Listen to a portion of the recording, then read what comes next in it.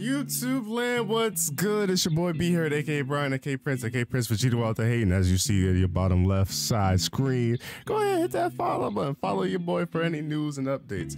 Uh, making a quick short video. Hopefully, there's going to be a Kombat Kast tomorrow, Friday, August 11th, uh, 10 a.m. PT at 12 Central Time. I live in Central Time, so it'll be noon for me. Um, you know, what I'm saying check your check your time zone for when that time is for you guys. A lot of time. But speaking of time, they're gonna do a breakdown, a full gameplay breakdown of Smoke, Azura, Ashrah, and Geras. I think I'm the most excited for Ashrah just because we haven't seen her in like 17 plus years because she was a 3D era character. And I kind of want to see what she does because, wow, I can't. I can't speak. I just want to see how she plays. I was gonna say because, god damn it. but in the trailer, it seemed like she was kind of just heavy base sword momentum.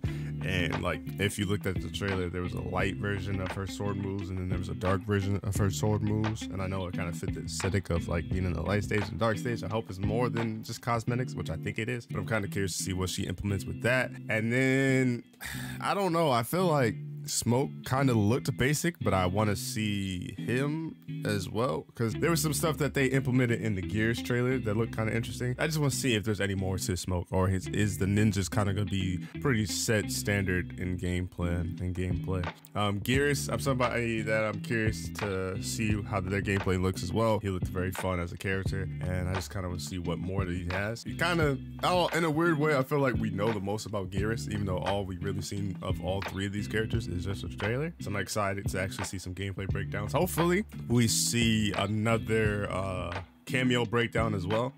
I don't know who I want as far as a cameo breakdown, just because they maybe Darrius. Give me a Darrius character breakdown because I feel like I hope he has four moves. I'm really curious to see um, the move he had with Geras. That was interesting. I wonder if that's like like is Geras considered like a powerhouse character? Will different characters do different things? Will they always uppercut you then swing him around? Can they even swing him around? I'm kind of curious to see more about that cameo yeah, man, Kombat Kast tomorrow. Let me know who you most excited to see their gameplay. I'm hoping. Oh, also another sidebar. I'm hoping we get two matches because I have a feeling that we will get a um, Tyler and Derek match, which I'm fine with. But I would want to see a high level. I don't know if Dragon plays Ashrah, but I can kind of see it. I want to see like a high level uh, match. If I'm being super, super greedy, I would love nothing more than to see like a high level match of both. Say like Smoke versus Ashrah and say Smoke wins, then Smoke versus Geras. Or if I'm really, really greedy, I would love to see them fight each other.